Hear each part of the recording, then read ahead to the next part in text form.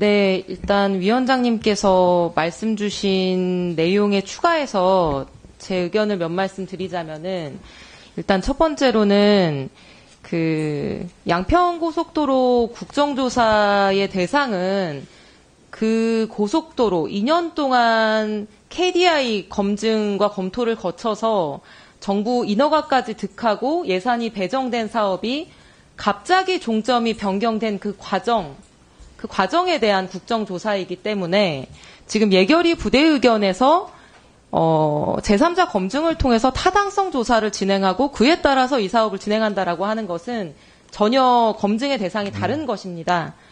예결위 부대 의견에서 얘기하는 것은 어느 노선이 경제적으로 기술적으로 합리적인 노선인가에 대한 것이고요. 지금 국회가 국정조사를 통해서 규명해야 하는 것은 대한민국의 1조 8천억 원의 국비가 투입돼서 진행되는 국책 사업이 과연 이런 식으로 진행돼도 되는 것인가? 라는 이제 것에 대한 것이기 때문에 전혀 별개의 것이다라고 말씀을 드리고요.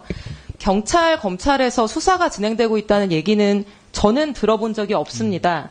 관련자들 중에 뭐 단 한 명이라도 소환됐다라고 하는 제가 언론 기사도 본 적이 없는데요.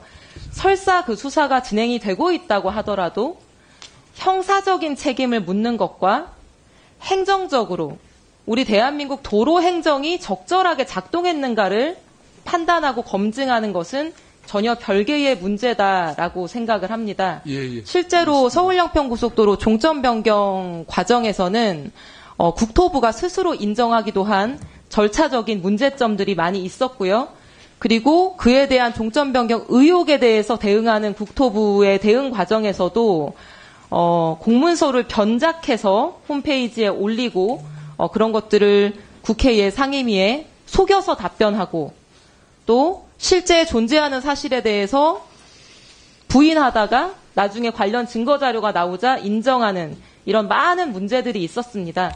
그런 부분들에 대해서 네. 국정조사가 필요하다고 하는 것이기 때문에 그것은 이 고속도로 사업의 최종 노선을 결정하는 문제나 또 형사적 책임을 묻는 수사하고는 무관한 부분임을 말씀드립니다. 예, 알겠습니다.